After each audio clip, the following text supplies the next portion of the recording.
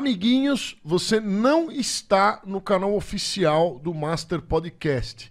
Então, é, confira o canal oficial do Master Podcast e o, e o cortes do Master que tá no link na descrição desse vídeo aqui. Eu sinto que eu poderia fumar muito mais. Eu pago a mensalidade dele, a mensalidade de uma academia, que varia o preço no interior, mas eu vou, vou pagar a mensalidade de uma academia. Ó, eu- quanto que você. Cara, se eu te falar que tem. É, isso que, tem investigação que a gente não paga nada. A gente vai na. Só não Pô, eu tô fazendo um trabalho assim, assim, assado. É pro meu que TCC. É. é, cara. Assim, quanto você cobra? Não, é só isso. Você só precisa, o rapaz só precisa ficar ali na, perto da, da- do supino. É, cara, é só. é, é inclusive é da- das 8 às 9, só que ele vai precisar ficar de, de terça e quinta só. Quanto que você. Não, tranquilo, rapaz. Não, gostei de você e tal.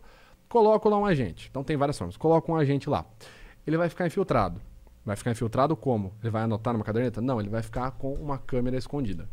Como eu tenho várias, né? Eu só não posso revelar. que- eu Tô com, tô com uma agora, mas eu não posso revelar onde que ela está. É bem fácil de, de entender onde vocês acham que está a câmera.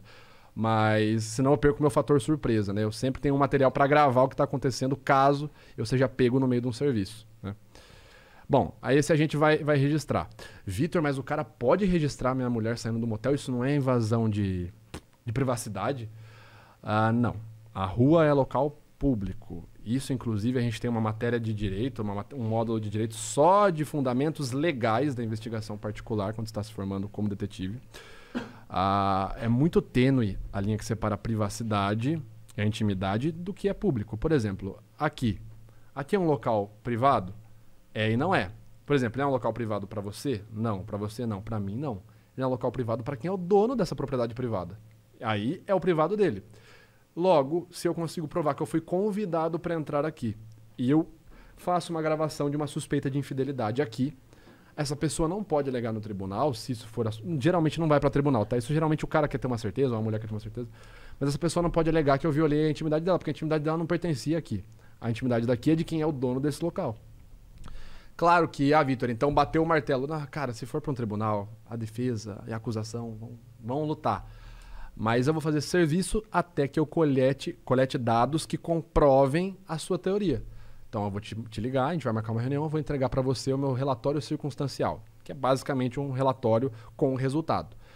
E aí tem um outro dado, tá, galera, que acha que é corno, que acha que é corna. A, a gente tem as estatísticas, né? Qualquer, se você estiver sendo traído, qualquer caso, a pessoa vai se reencontrar com o amante ou com a amante em até 15 dias. Esse é o prazo máximo. Por isso que a gente geralmente faz o contrato de 15 dias para investigação de adultério. Mas e o- os que dão uma chumbadinha uma vez por ano? Ah, não, isso aí dificilmente é pego com uma ah, investigação. Daí é, É. é só quando é. Ah, é só quando é. É, é que a mai- é que acontece assim, muitas a maioria não é assim, né? A maioria é um affair. A pessoa tem, tá no relacionamento e ela tem um relacionamento paralelo. Ela tem um lance que ela vai encontrar de vez em quando. Ah, Mas assim, quando você não vê efetivamente os dois juntos, bom, óbvio que você vê os dois entrando no motel, eles vão estar jogando dominó lá dentro, né? Mas isso já é uma, ah, bom, já é uma prova. Mas tem alguns que ficam confusos. Você fala assim, ah, eu vi o cara conversando na praça com a menina, mas não Sabe vi um que- beijo, não vi uma aproximação.